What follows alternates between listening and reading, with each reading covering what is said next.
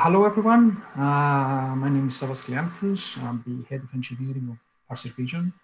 Um, before I start, I would like to thank uh, Dario and Oliver for having me today. And today I'm going to be speaking about becoming a high performance organization and how to stay one. Um, well, that was initially the plan. Unfortunately, it's obviously like a, a very big subject. So um, I had like a small change of, uh, of, of target with this presentation. And I'm going to be presenting uh, the top tips on how to become a high performance organization. I did this so that I would um, present some things that you can adopt um, uh, selectively, depending on your situation and your context, uh, to start seeing measurable difference in your day-to-day performance uh, so that you can then get buy-in from the rest of the business uh, to adopt some of the more challenging uh, aspects of, um, of, of, of, the process that is necessary to, in becoming a high-performance organization. It's not always easy, by the way. Um, roughly the schedule, I'm going to be speaking about how this came to be, what this is, uh, and then I'm, I'm going to go through a short explanation of high performance. Uh, and there's an interesting bit there uh, that needs to be discussed, I think, before we go to the um, uh, to the tips. And then the middle of the presentation is going to be me presenting uh, six tips about operational performance, and uh, we're going to see why that matters later. I, I aim, I'll try to leave some time, a lot of time for Q&A because this talk is basically what you need to do in the sense of uh, these are like three things that you need to uh, to adopt without going into a lot of detail about how do you do that, how do you adopt those uh, those particular practices, just what you need to do. Uh, so it's kind of an index to help you on your way, so like a, a short map, um, but without a lot of um, drilling in with regards to each, each, of the practices. Some of them are quite involved, in fact, so you need to do uh, some study uh, before you start adopting it. But um, I'm saving you a lot of the research that is necessary in, doing so. That, that's that's basically the goal. So um, why this came to be? So how, how did this start? Well, uh, some time ago, I joined Parcel Vision. Uh, when I joined, I was the um, I was I joined as a, a tech lead uh, and kind of in an architectural position. But very soon, uh, I found out that I actually had to fill in the roles of uh, of the head of engineering. And it was a new team, a new project, entirely greenfield, but nothing was there, just an idea from the owner of the company. Uh, because he, he, used to work in uh, logistics quite a lot and noticed a lot of, a lot of the problems. And I, I, I, was in need to establish a certain process uh, that we need to follow. I mean, and everybody knows that waterfall is bad, but um, Agile has a set of practices. Um, but alone themselves is usually not enough. There are other things that you need to consider. And moreover, there is a lot of um, a lot of advice, a lot of good, good advice about um, you should adopt this, you should do this, you should do that other thing. And it's a lot of um, information, a lot of workshops that are, meant to help you, a lot of practices that you should do, and each of them has a different benefit. And there is a lack of documentation on how things fit, actually fit together. So uh, there is some hints here and there about the different parts potentially uh, working with, with others, but you don't know when these do not. And you also, there is a lack of documentation of uh, a, a, process from start to finish of you should be doing this, and then you should be doing that, then you should be doing that, and then iterate like this. So, well, there is some of that uh, in Agile. There is, well, there is a quite a significant amount of uh, of, of, of, information there, but it doesn't deal with uh, how do you actually go about building the product. It's about eliciting feedback and, and how development happens, but it doesn't speak about analysis and architecture, for example. And, and there are people that there is some information there, there, but as I said, it's uh, it's it's not a lot. Um, I spent quite a lot of time studying. I um, I, I reached out and, and also tried to study about, um, to find knowledge outside of the domain of software development as well, not just uh, within our, uh, our current um, work profession. And, and I have been working for a little bit more than a year now on a process that um, will allow uh, new teams essentially, but most uh, easily is uh, this is adopted by a new team but also uh, and a process that can be adopted gradually by established teams in order to become high performance organizations. Before I continue on to the tips, uh, yeah, I, I, just want to give a definition of what exactly are we talking about uh, when we're speaking about the high performance organization. Uh, the definition I use is uh, that a high performance organization is uh, a learning organization which relentlessly delivers value to its customer. So it's an organization which relentlessly, um, with relentless, I mean uh, continuously deploying new features into production without stopping, but making informed decisions about what to actually uh, deliver to the customers and, iteratively finding out exactly what um, that value means. In order to understand what the high performance is, I think uh, a useful um, way to do that is actually comparing high performance organization with a low performance organization. And uh, these are some of the statistics that are taken from the Accelerate uh, book, uh, which was a research in the industry. And what they found out is that there are some, um, in some cases, there are orders of magnitude um, a difference between uh, some key metrics from high performance and low performance. So one indicative one is that a high performance organization is 440 times faster uh, to deliver a code that got committed uh, into, um, into their trunk uh, into production. So the time it takes from committing to trunk and getting into production is four, 440 times faster. 170 times faster time uh, to recover uh, from downtime. So these are uh, a huge difference between low performance and high performance. Now, why is that important? So the state of DevOps report of 2014 was the, um, the beginning of this journey, and they alluded to this. So what they found out empirically was that there was a relationship between operational performance and organizational performance. So what they found out is, uh, so the quote is taken directly from State of DevOps, is that um, high-performing IT organizations were actually twice as likely to exceed their profitability margins. So operational performance actually meant more money. Uh, and, and, this is the uh, organizational performance that we're interested in. That's the definition of organizational performance. So, and then later on, we're still, um, I, I, I, this is again from the Accelerate book, uh, there was a scientific study done as part of the, um, of the Accelerate book, and they, they found scientific proof that there is a causal relationship between software delivery performance, and this is the operational performance that I was referring to earlier, with organizational performance, which means profits. And, and this is scientifically proven. So that it, this is no longer a debate, and, and there is no, uh, it's not no longer something that we can discuss. It, it, has been actually proven. So what's our experience with the framework that, um, that, that, I have been working on? Um, so after adopting this, uh, the beginning of this year, um, we've noticed that we went down from uh, uh, deploying once or twice per sprint to deploying 10 times a day. Uh, work lead time went down from three to four weeks to four to five days. Work lead time is basically for request for a feature uh, to actually that feature being uh, merged into master and deployed. And then uh, deployment lead time went from five days approximately to something close to 15 minutes. So we now uh, sit in the high performance organization definition within the uh, state of DevOps report. So now on to the meat of the presentation. So six tips to achieve operational performance, which will lead into organizational performance. So tip number one, which I think, based on my experience at least, is the more important one, is how to um, achieve meaningful decomposition. The decomposition that I'm referring to here is the decomposition of responsibilities of a system into, uh, let's say, services. So uh, services because where Microsoft is uh, middle, right? so um, this is decomposing the responsibility, meaning that uh, we decide that this piece of code, this service is responsible to do, um, I don't know, uh, shipping. This piece of code is responsible for invoices. This piece of code is responsible for X, Y, and Z. So that's the decomposition of a system into, uh, into services that I'm referring to. So how do you achieve that meaningfully? How do you get to a meaningful, useful decomposition that will not hurt you in the future?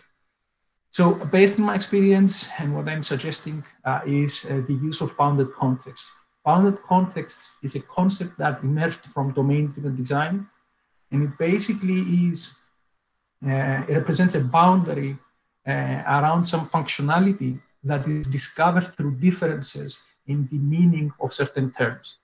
Now, it may sound a little bit complicated, but it really is not that complicated. In fact, it's this happens when we are talking with different subject matter experts. We are discovering that, um, for example, they have the they acknowledge the term of a shipment. A shipment is something that I, I work day to day on my and my current position. So the shipment from in one bounded context may be represented by uh, a tracking number, for example, and that's all it is in one bounded context, and one uh, subject matter expert understands that and only that. But in another context, it may mean a set of stages, which is something different. In yet another bounded context, that status, that sorry, that shipment may be represented as a set of problems and action that can be taken to address that problem. There may be some similarities between this model, but understanding that the subject matter experts realize that there are differences in these models, in fact, actually helps us use those boundaries in a meaningful way. And it's meaningful because we can segregate them in a way that each and every one of these models can evolve independently to meet specific business requirements and also do that in a way that it doesn't affect the other ones.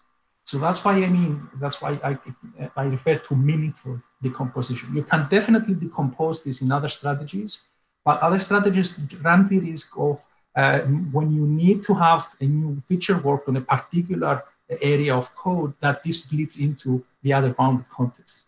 So some tools to help you as well on top of that. So bounded context is the theory and it's the thing that you should be trying to uh, achieve in order to uh, get that kind of decomposition. But uh, context mapping is one tool that can help you identify relationships between uh, the different bounded contexts. And this will help you get to more meaningful ones. But also a very powerful workshop is, uh, is one called event storming. In event storming, all of the people, all of the stakeholders, all of the developers, potential users, if you can find business analysts, UX, everybody involved in building a product, go into a room and basically create a model of the system that uh, they're going to be building. And that happens from the perspective of meaningful events.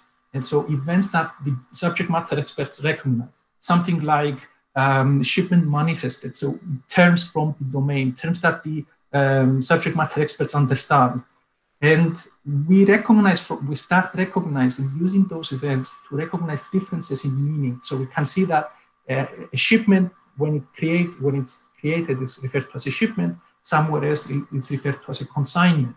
That change indicates a, a change of meaning, a change of term used indicates that there is a boundary there. In other cases, we can recognize that. So we need this, this event that, that occurs here uh, includes some properties, but somewhere else we're only interested in a subset of those properties.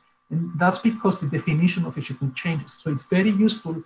Um, this this, this um, workshop is very useful to actually allow us to come up with those uh, sort of boundaries. And uh, that's, um, I think I will take the opportunity to uh, mention this awesome quote from Alberto Brandolini, who's the creator of event storming who said that it is not the domain expert's knowledge that goes into production, it's the developer's assumption of that knowledge that goes into production. Which is essentially means that it's what the developers understand the requirements to be, regardless of how they got those requirements, that actually goes into production. It would be awesome if we, can, if we could take the subject matter experts and deploy them to production, but unfortunately that's not possible. That's why we have software to, um, that's why we develop the software. So this is really useful, as I said, because understanding what the subject matter experts understand, need and, and, and know will actually help us come up with a, a meaningful boundary for the bounded context. But also this helps me and introduces me to my next slide, which is next is avoid persistence and domain model impedance. So the, the impedance between a normal form database and a domain model, so a SQL database and a model that we use in production um, well, the code is running uh, is known. Uh, what is less known is that this impedance actually spans uh, not just SQL server, uh, sorry, not just SQL databases, but document databases as well.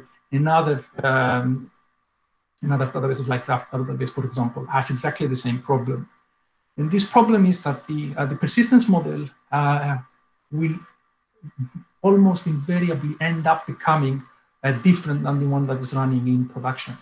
Document databases are a bit sneaky. So document databases have an implicit schema. They don't have an explicit schema. And what happens is that, especially in the beginning, the, the, the schema, the implicit schema that the documents have in the database, if you use a document database for your uh, write path, so where your business logic runs in a sense? you will find out that at the beginning, it's, it's exactly the same as your domain model. It, it has exactly the information that you want your domain to run. And when it starts, everything is fine. And it is.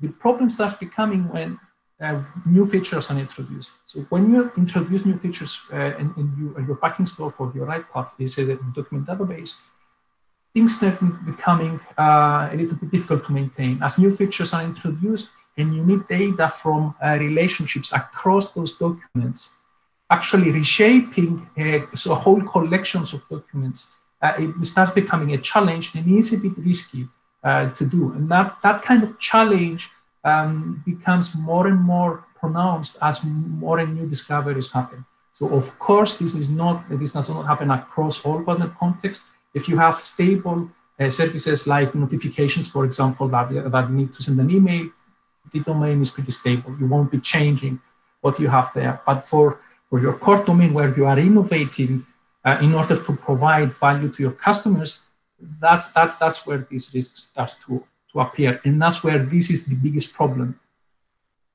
You address this, the only so the only real solution to this uh, is using event sourcing. And the reason that the event sourcing is a solution is because uh, is, is because of two reasons. First of all, you can delegate the responsibility to your subject matter experts your subject matter experts actually know for a fact already what events are happening on a particular entity. And so you can use exactly that knowledge almost as is in COVID verbatim to, to be used as the persistence of, of those entities. The second reason that this happens is that those events are much more slowly changing. Even as you are innovating within your domain, because you are discovering those events from, uh, from your discussion with the subject matter experts who know this domain fundamentally, changes to this tend to become incremental. And moreover, even, even if you find out that some of the events need to change, those changes are very, very isolated. So it may be on a particular event type, which are easier to actually address. Now, adopting event sourcing is not something that is easy. Although having said that, I just want to say that a lot of the advice that, is that, that exists in the internet is not really true. So a lot of people are, have very bad experiences with event storming, uh, sorry, event sourcing. Um, but I think, um, and based on what I'm seeing in my own experience, is that event sourcing is very different to what, what one does with a normal form database or a, or document database. So there is a definitely um, a, a, a learning to be had between that and a lot of mistakes that can be had until um, one becomes familiar with, with event sourcing. Having said that, nothing is more complicated when you're using event sourcing. Uh, in fact, it, it, starts becoming easier, things becoming easier. It's just there is some uncertainty uh, for a lot of people. So in that case, I would strongly suggest that you adopt event sourcing uh, in, a, in, a, in a bounded context that is not that core and not that important until you get some familiarity before adopting it on some of your uh, core bounded contexts. But it definitely solves a very big problem. And if you're a junior team and you're just starting, uh, that may be something that you want to adopt from the beginning to get experience. Tip number three is reducing coupling. So there are different types types of coupling, uh, and the few advice that I'm providing here actually tackle almost almost all of them. Um, so first of all, one thing that you can do to attack coupling is use event-driven architectures. So the way that you communicate internally in your system through, should be through asynchronous events. It's not always possible, of course, because if you have requirements for very low latency, message-based communication is not going to help you. But but given that a lot of the communication can in fact be asynchronous, you should take advantage of that uh, relaxed requirements. And, and, this, from my experience, is more often, it happens more often than it doesn't um, adopting a message-driven communication and more specifically event-driven communication uh, allows you to have drastically reduced coupling. Drastically reduced coupling means in the context of uh, event-driven communication uh, that you do not have a temporal coupling between your services. So if uh, service A needs to talk with service B, it can do so even if service B is down. So it will publish an event and then service B, when it comes up, it will notice that event and then process it normally and then execution will continue. So you can still be, be available to your customers and still respond accordingly, even though some of the dependencies are maybe offline at the moment. And this is important not because it, it, it, can be down like something catastrophic happened, but it can be down because of load, it can be down because for whatever reason. Um, this will still allow you to be available. Applying reactive principles uh, is another thing, another, another tip that um, I wanted to mention because reactive principles and reactive, pro reactive programming uh, is actually um, a methodology that is, has been around for, uh, for, for, decades, in fact. And there is a large body of knowledge around how to design reactive applications. I will certainly suggest that you um, tap into that knowledge. And if, uh, another tip is prefer choreography. So choreography is um, basically publishing that information, publishing a change or publishing uh, an information or a decision made from one service, and then have observers to that respond to that uh, to that change uh, without actually somebody having to tell them to do something. So a service A publishing a change, service B notices that change and then does its own actions and then publishes some information, which can then be picked up by another service later on. So that chaining is, is, is what choreography means. It's the, it's the exact opposite of having choreography, which is having a central orchestrator that says, you do that, you do that, you do that, you do that. And if there is any failure, it goes back. So you undo, you undo, you undo, you undo. Choreography is, is, is really good because it, it breaks down the, um, the central uh, orchestrator that needs to depend on multiple other services in order for an important workflow to happen. This is another thing where it, it's not always possible to do this and it's not always the best option, but I would say that that's why it says prefer choreography uh, rather than use choreography. But in the case of short workflows or workflows that have very easy um, error recovery steps, uh, choreography works very nicely, and I would strongly suggest to adopt this. And finally, another option that's um, basically kind of a nuclear option that which works quite nicely though if you can do this uh, is the situation of uh, so the architecture where you share nothing. So you don't share any kind of data and any kind of models across your public context. The way to do this is basically you disseminate the information upon entry of the system to all of the services um, that will need those pieces of information. And then all of the communication across the services happen through a contextful event with just IDs. So it will be something like uh, shipment manifested and the ID is this. There is nothing else in that event. It will be shipment went into exception and then it will be an ID and nothing else.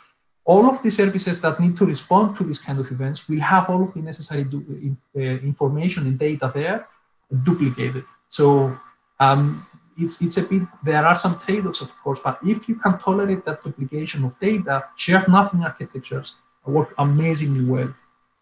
Tip number four, have meaningful test coverage. Test coverage is another thing that can actually explode your uh, deployment times. And it's, it's, a, it's a bit of a touch, touchy subject. Um, but what I'm going to be discussing and focusing on uh, the tips that I'm going to be saying here is uh, basically how to um, what worked for me basically. so one of the things that worked nicely for me is uh, using an onion architecture. Onion architecture is a type of layer architecture where uh, outer layers of code um, have dependencies that only point inwards. So this is beneficial. Why? Because it allows you to um, put business logic right at the core, and that business logic will depend on nothing. It will not depend on persistent models. It will not depend on application concerns. It will not, application concerns are stuff like uh, messaging, logging, and, and anything. So it will depend basically on nothing. So this is really important because you can very quickly and very efficiently and very targeted have a very good coverage of the important bits of your system, which is the business logic. And you can do that quite easily Now, and especially if you adopt event sourcing, this becomes even easier. It will be given this past decision, given this request, I expect this decision as an outcome. Now, on top of that, um, non-linear architecture will allow you to have a very quick, small amount of tests for um, infrastructure. And then you can have an even smaller number of integration tests and end-to-end -end tests to actually check that things are working together. Um, how to reduce development time dependencies. Uh, development time dependencies is uh, a, de a, dependency on delivering the feature that you want. So uh, you need team B to finish something in order for you to deliver uh, your own bit of work. Bounded contexts help here again because it makes sure that the responsibility and behavior is isolated on a single bounded context. That alone is not enough. structuring your teams around bounded context and using event-driven architectures um, basically closes the, the set of things that, uh, that you need to do in order to reduce that. Because since uh, teams fully own the bounded context, so one team can own more than one, but uh, one bounded context is only owned by one uh, team, means that the changes that are um, that need to happen on one bounded context can be done and delivered in one team. And uh, the bounded context helps make sure that the necessities is only on that one bounded context rather than more. Um, the final tip is, uh, so uh, there is a, a, large amount of waste uh, regarding having to do rework, and then waste in the form of doing work preemptively without actually knowing that this is needed. Um, in order to reduce uh, uh, rework, uh, what I suggest is adopting an improvement budget, which is allocating a specific amount of time for team um, to uh, work on technical debt that they design. So it's the business will just dedicate the time. They will not be pushing for feature requests during that time. The, knowing the prioritize, the, the prioritization, the technical team can then go and attack um, uh, technical uh, debt where it exists, and, and, it, it, and, it, will give them the um, best buck for the buck. Uh, another thing, another way uh, to reduce rework is having cross-functional teams. And when I say cross-functional teams here, I don't refer on uh, front-end and server side or front-end and infrastructure. Whatever. I'm really talking about uh, product and UX and business analysts and testers and anything, anyone involved in actually building that product, sitting together then and there. And it also touches on the next point on the one-piece flow because all of these people are now able to make decisions and the right ones as well in order of how to implement these things. And the pool-based uh, model uh, that I suggest is basically to make sure that the, uh, the development team is uh, not overburdened. An overburdened um, a team will, uh, will cut corners in delivering a set of features, which will drastically increase the technical debt, um, which will then have an impact on the work. And finally, another thing is to uh, carefully considering all of the alternatives. So when we are uh, in need to make a decision on what to do or what approach to take, considering all of the alternatives uh, will help us make sure that uh, we don't need to redo a, a, specific feature. Considering what is the, so basically the question is changing, is this good enough from what option available to us globally is the best for us? And uh, that's it. Uh, this is some of the reference material they used in uh, creating the framework, and uh, more specifically, uh, speaking about this presentation, there is a significant uh, number of books outside of uh, the ones here that went into this and um, that's it. Thank you very much.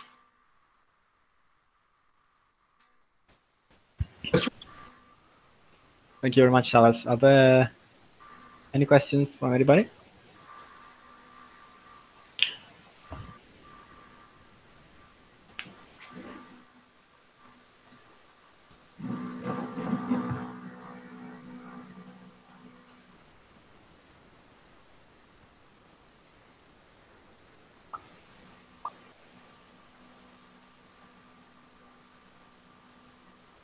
Anybody.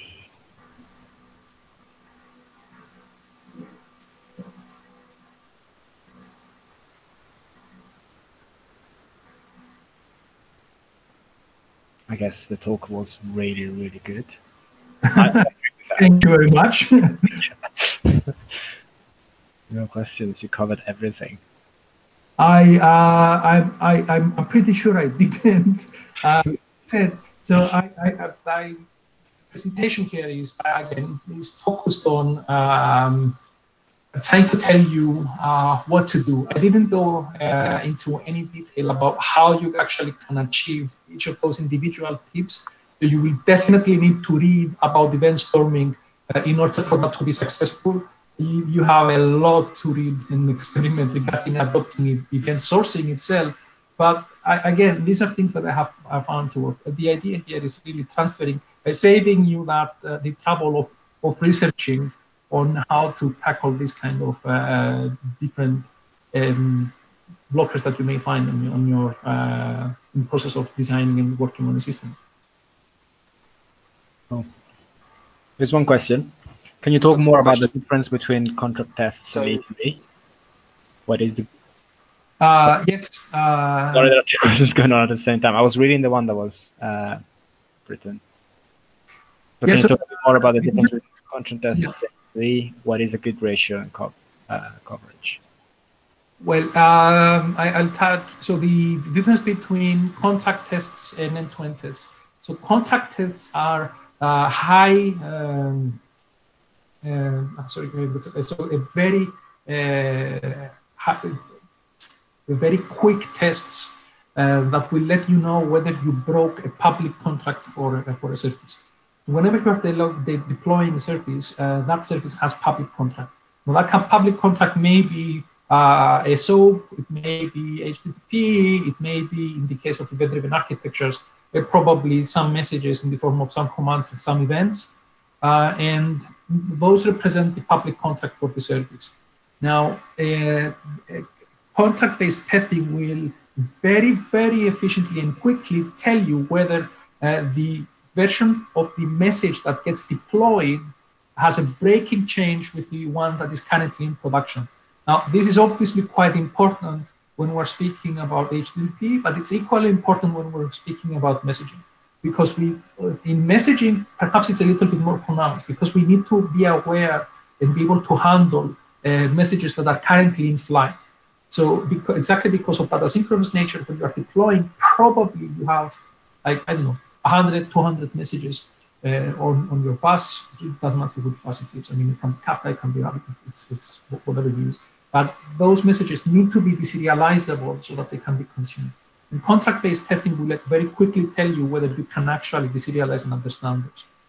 The end-to-end tests are what we know of end-to-end tests. So for end-to-end test is uh, onboarding. So you have a journey for onboarding and uh, you just, you know that taking action A, B, and C uh, actually allows you afterwards to log in or um, taking action of, so I'm manifesting a shipment, I can notice that uh, the shipment has been manifested with a carrier, that we can actually query it in our system. So things that are happening system-wide. So the system is the black box in the case of an end-to-end, and we're hitting it like that. So it's user tests considering the system as a black box. So that's that's the difference between these two. From the perspective of root ratio and coverage, so coverage is actually a good point.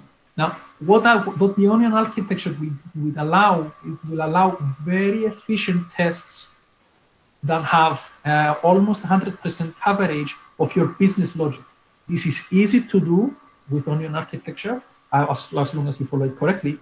And, uh, and it's also uh, not that difficult to maintain, as long as you also uh, adopt some of the other practices of um, meaningful decomposition. But even if you don't be, be uh, maintaining those specific tests individually. So if you don't find changes in your business logic, uh, or at least reshaping that within the service, you will notice that these are very easy to maintain.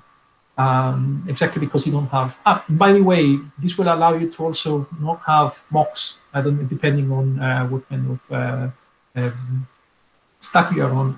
Uh, the fact that you actually, the, the, business logic depends on nothing means that you don't need to mock storage, you don't need to mock messaging, you don't need to provide steps for logging you, you don't, you, nothing of that is important. The business logic is pure, depends on nothing. So, you, and, and, literally with event sourcing is awesome because you can say decision A, decision B, command, and you expect an event out, nothing else. You don't need to inject anything. So, business, covering of business logic close to 100%. Uh, I will say infrastructure should be covered. We can cover it quite nicely from the perspective of infrastructure. Uh, but obviously, end-to-end tests start becoming a little bit less. I mean, integration tests also, it's, it's less than the domain. Uh, I, I, ratio depends on, on, on your platform, I guess. I, I can't really comment on that. Any other questions? I think James had a question. I did. I've just I've just typed it in. Um, I'll, I'll, I'll, read it out. Um, so who, who is it that does the event storming workshop? Um, is it something that that a like a product manager would run with people, or, is it developers only, or is it the whole cross functional team? Like, who goes to that sort of thing? And the reason I'm asking is that I'm um, uh, sort of developer turned into product, and I and I and I know about event storming, but I don't see it much as uh, something that's recommended for it's not something that product managers talk about amongst themselves much. Event storming. Um, um, what's your perspective on that? Should they talk more about it? Of course, of course. So again, I go back to Brandolini's uh, quote because you really, I mean, as a product owner, you just want to know that what you're delivering to production is what your customers need. And also, as a product owner, you are responsible that things are need to work as the subject matter experts understand that it's going to be working, right? I mean, if you are in shipping, you need to understand about ships. You need to understand how uh, ports work and what needs to happen and what forms need to be filled in. That needs to happen with, within some, some regulations. And the event storming workshop is awesome because it allows you to discover this and also make sure that everybody, and, and that's why everybody needs to be in that workshop, uh, comes out with a shared understanding of what needs to be built. So uh, it's really, really powerful. I cannot, I, honestly, I cannot um, over express too much how important this is. I, am sure I cannot do it justice. How long I, it doesn't matter how long I talk. It, it's really, really, really powerful. It can save you months of experimentation. So it makes sure that everybody involved in the meeting, in the uh, in building the product, is there, and everybody knows exactly what uh, the subject matter experts understand. So yeah, definitely have everyone in there. Definitely have them. And uh, it's also quite powerful to happen uh, not just on the beginning of a project, although that's the more important part, in my opinion, uh, but also do it iteratively. So every, I don't know, every quarter or whatever makes sense to you, whenever a big goal or a big milestone is reached, I will say that uh, do it once more uh, so that it's um, everybody understand what's the lessons that we learned during that, uh, that, that, period of time and, and, and potentially give an opportunity to uh, remodel uh, the system. So this basically remodeling the system is um, taking on new lessons from the domain because if you are innovating, you are bound to learn some stuff that, some stuff that you didn't know about. and so it will allow you to adapt that model uh, to better meet our customers. Um, did I cover your question, James? You did. Thank you. Um, I think question. we missed a question. I've got one. I've got a question. Uh, just, I was just thinking. Do you see um, event storming as a replacement for uh, story mapping, or and how do you see the two? If, if, not, how do you see the two fitting in together? That's a, that's a, that's a, question. Um, so basically, I, I, absolutely doesn't replace user story mapping. Um, when event storming got introduced, it, it, there was a lot of excitement around event storming, uh, which is, from my perspective, I, I, can, I can fully understand that excitement um, because it really is a very powerful workshop. But it does have some um, uh, some gaps. And one of the gaps is exactly it, it lacks that focus on, uh, on, on the needs of the end user. If you can get a user actually in your event storming session, that is kind of covered, uh, but it still lacks a focus on what they need. They will have a voice, which is it's good, but it, it doesn't have a voice. They, sorry, it doesn't have a focus on that aspect. It has a focus on discovering how things should be working in order to meet some requirements.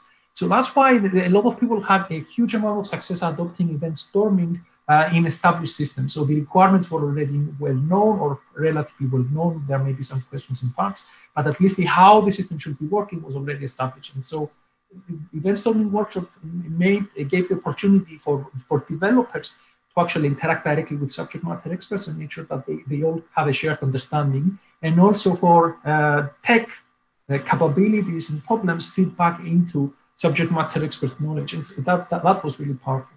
But as I said, there was a gap there. And that's where user story mapping really, really shines. I mean, with user story mapping, we are able to actually discover and identify that um, um, what our users need. So how the system should be working as a black box, not uh, internally. So what what I have found quite successful is doing one and then the other. I do the events, the story mapping session beforehand. I produce a certain set of artifacts. I publish those artifacts to the development team. And then during the event storming session, we have a quick validation of the model that we have created in the event storming session by comparing it to the user story map, the user story map that we have. So we can very quickly evaluate that. Okay, so we have this journey that we need to support, this happy path, this sad path, and we can easily see because it's event, uh, it's the events, the domain events that are represented in the event storming session, that, that this model actually meets this requirement or this model is lacking on, on different parts. And if it's lucky, we actually can um, redo some of that uh, event storming session more focused, knowing that this is missing. And so we can fill it in. And that's a, that's a quicker feedback rather than the traditional approach of event storming of you do the event storming session, and you go out, run an experiment or a very short uh, spike of like a week uh, and, and, trying to come up with a, a, proof of concept to see if it works. And then you do another event storming session and you go back and, and back and forth like that, which probably you will still need to do this, but the user story map will save you some of those iterations in order to validate. You will the, the first time you go out of the event storming session, you will have a, a reasonable model. It may not be the best, but it, it's going to cover the basics at least, all of the basics that you need.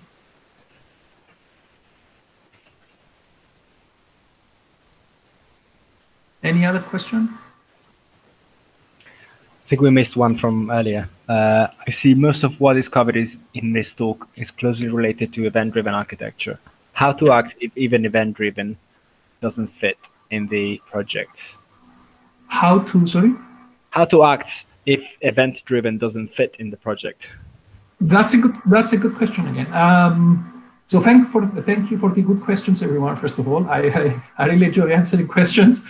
Uh, so uh, that's not quite true. So yeah, there, definitely uh, there are a couple of points that event-driven architectures greatly help. Uh, but um, it, it, doesn't. It's not a necessity for all of these uh, for all of these points. So for example, uh, you can you can still use uh, event storming even though your system is entirely lacking in events. So you don't have any kind of events anywhere. Um, and um, so the composition can happen. let's go actually some, back to some of these some of these tips. Uh, so the composition can happen without events, so there is absolutely no need to do this. And the events you can you can use them for persistence. You don't need to actually communicate across the services with events, so you can still take advantage of event sourcing even if you are communicating over HTTP. And actually, this is happening on the system that I'm building right now. So there is a, a one part of the requirements uh, necessitate a very low latency communication between the services, which is not really ideal in an asynchronous communication uh, in, asynchronous communication. So, but we still use event sourcing because we have the requirements for auditing and we have the requirements to uh, ask speculative questions with event sourcing is really powerful to do. So it will allow you to ask questions of what was the answer two days ago, what was the answer a year ago, or what will be the answer uh, two weeks from now in the future, uh, which is an amazing tool for debugging, by the way. So uh, this can happen without uh, messaging, even if you are using um, HTTP communication. Using coupling, you can still do the choreography aspect. So you can do this, but it's a little bit of um, uh, of, of, manual labor to actually make sure that you have some uh, anti-corruption layer that uh, changes the necessity, sorry, So you can still do um, HTTP, uh, but, but, have them in a, um, a change, flip the dependencies. So use something like webhooks uh, to actually have other services subscribe, but still the communication can be synchronous. So choreography can still happen. It's a little bit of manual labor to, to do this. Testing obviously has um, is not affected by that. Um, reducing the development time down the dependencies. So event-driven architecture really help. You will not be getting the maximum benefit if you, if you don't have event-driven architectures, but it's still, so you will still have behavioral coupling, you will still have um, that uh, temporal coupling as well, but it's, it's, it's not that bad and uh, reducing rework and waste. Again, um, you can still have the event storming session, you can still uh, swarm on a ticket. So a lot of these, so you, you, you stand to gain by adopting event-driven architectures, but it's not a prerequisite to, to doing that.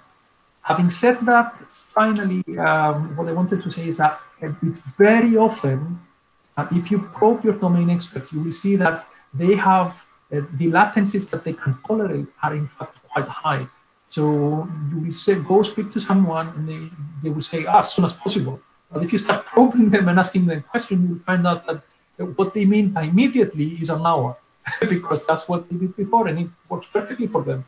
And it, it, it depends, of course. I mean, if you are if you are asking questions to a query, uh, you need to respond efficiently and not uh, so immediately. And latency has to be slow, uh, sorry, low so you can actually like that's going to be an HTTP communication. But queries are on the boundary of your system.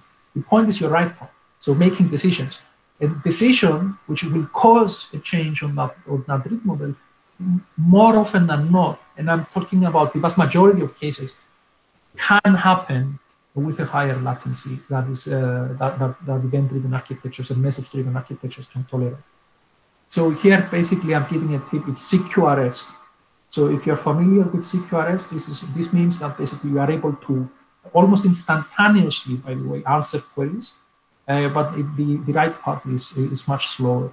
Uh, it's not something that is easy. Again, it needs uh, it, it, comes with its own trade-offs. It's not like event sourcing in, uh, that is um, quite easy to uh, to adopt, and it doesn't have a lot of problems as long as you get familiar with it. CQRS does have trade-offs, but it, it, it may be of interest in, in some cases.